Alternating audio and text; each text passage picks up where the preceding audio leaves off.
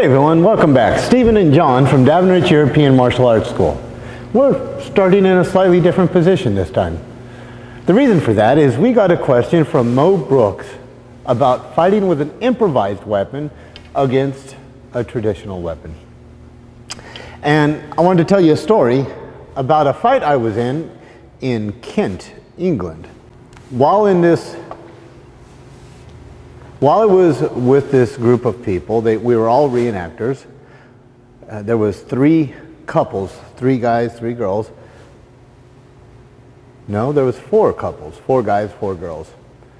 And uh, we were all young reenactors and at this barbecue and somebody said, hey, let's gear up and play a little bit because, you know, we have all the equipment, so why not? So we started getting ready to play, and one guy put on like a full suit of armor. Another guy put on half suit of armor.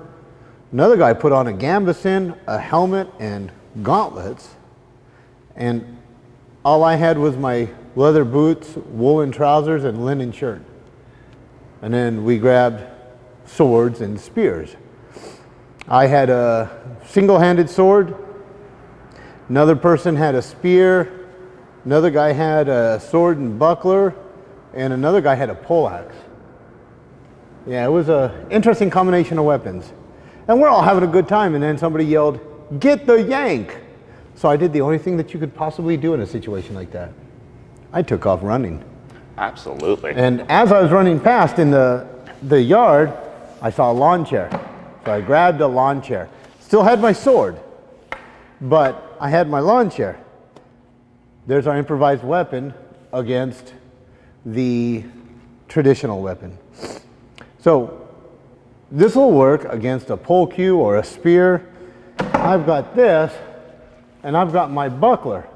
Now, my shield, my buckler, what we think about a lot is, go ahead and stab me, you know, setting aside like this. That thing is so quick, without going fast, go ahead and trick me. Mm-hmm. Yeah, that's going to be really hard to get. So when you're fighting with something like this, you cannot stay at their distance. Go ahead and do that again. Mm-hmm. And that's about the only thing that you can get in this point. Because you've got a closed measure.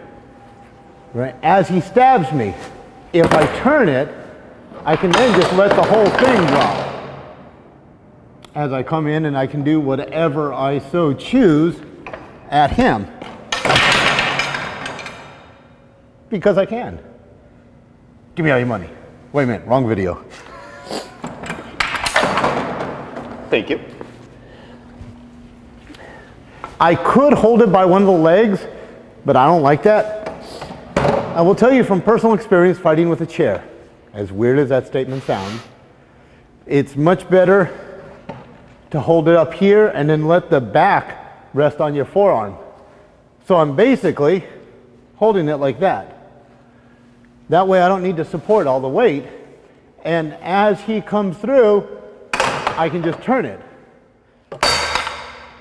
And then come in, do whatever I need to do. If he cuts down at me, right, I can get this up, but that's going to be really hard because this thing's heavy. He does that, and then jam in. Now, he's going to do the only thing he can do, which is defend with the cue. So I'm going to hit him in two different places. Hello.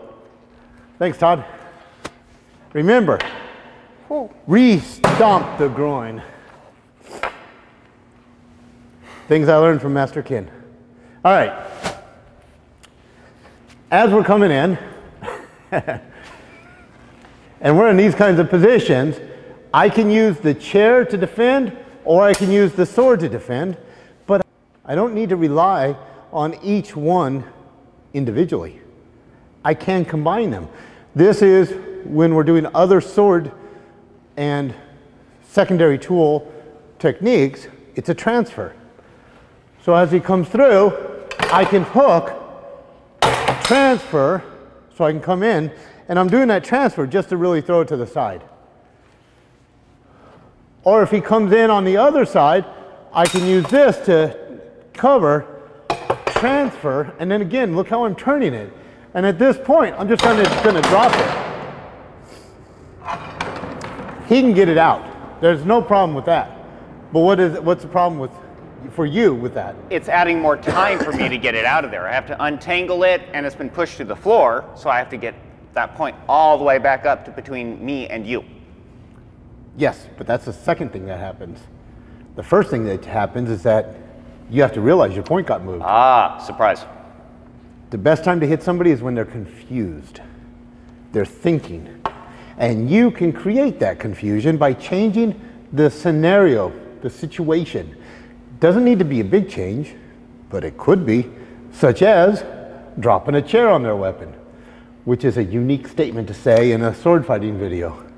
Yeah, just drop a chair on their weapon. It works though. So when we're in here, as we're fighting, now at this point, I've left my face exposed. Would you agree? I would. I'm not going to move. Go ahead and stab. I'm going to go to the side. Easy to get there. Would you agree? Very. Go and do it again. At this point, I'm now using it like the guard of a dagger. Yeah. And now, what do you think I should do? Drop it. Yeah, relax my arm. Yep. And then just. I don't even need to hit hard. No. Would you agree? I would definitely agree. But remember, if you do that to your friends, they will cease to be your friends after that. So be careful with those techniques. You only throw your weapon away if you've got another one to work with. This happened to me in the fight, and I have this video as well. As we were fighting, or this picture, it's not a video, it's this picture from 1999. There was all three of them, and I lost my weapon. But I got in tight, and I was in this kind of position, and I was holding them like this, and I had the three of them, and if you can see where I've got my leg pushed into his chest, I've got his spear covered, his cues in front of the other guy, and his spearheads in front of the other guy. So they're going to keep coming. These two guys can easily leave. Would you agree? I would. Yep. That's when you just turn it this way for a strike. And then, I'm not going to do it, drop your chair. and as soon as you drop your chair, let me get that off your neck, Thank you. you jump this guy. The surprise factor is happening again to me with the chair on me because now Right. I've got a chair binding not just my tool, but it's on my body now, and that's going to pull me a little bit off center, which I'm going to have. An, we, we've all seen this anywhere. I have a natural reaction to pull back from something that's yanking me down. Yeah. And again, the first thing you have to do is realize something's changed. And that moment of confusion gives you the opportunity to go somewhere else.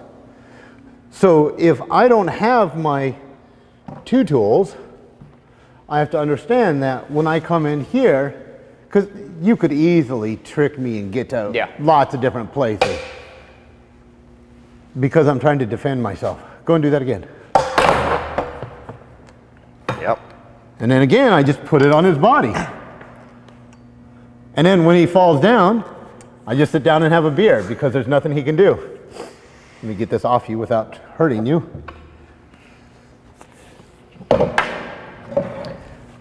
Thank you very much. So this is actually a fight I was in in the UK in 1999 in a guy, his name was Martin, in Martin's backyard. I don't remember Martin's last name. I wish I did. Uh, Martin and Dave, they were partners that ran Cosmeston Medieval Village reenactments. A lot of fun with those two gentlemen. This was some of it. So just a real quick answer for Eric about using a improvised weapon against a traditional weapon.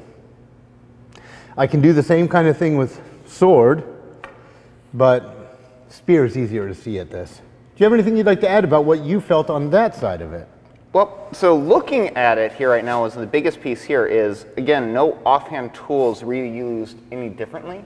whether it's a center grip shield, a double strap shield, a buckler, a dagger, or a chair, its job is to bind up the other person's tool and add more time to them, whether it's mental or it's physical, the removal of their blade from what is happening. Right. Um, so running into that, that same concept, it doesn't matter what it is, still blends in. It Cool. doesn't matter your tool because our weapon's right here. Right. And it's the same stuff running into it here. So a little bit of fun with sword and chair against spear. Johnny, thank you very much. You're very welcome, sir. You know, next time we want to take a break, I'll grab a chair and that could Yeah, be kind you of can fun. sit on me and everything. Take care. Everybody, everyone. Yeah. Thanks for watching. If you enjoyed the video, please hit the subscription button below and the notification icon. We have videos coming out every week.